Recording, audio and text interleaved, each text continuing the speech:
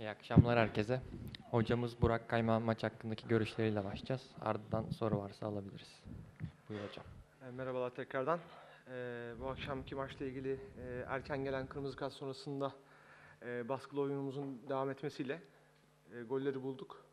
E, ikinci yarıda skoru koruma adına biraz e, rakibi beklemeye başladık ve sonucunda daha da fazla atabilirdik. E, günün gecenin sonunda maçı galip bitirdiğimiz için mutluyuz. Konya maçında da 3 puan için gideceğiz.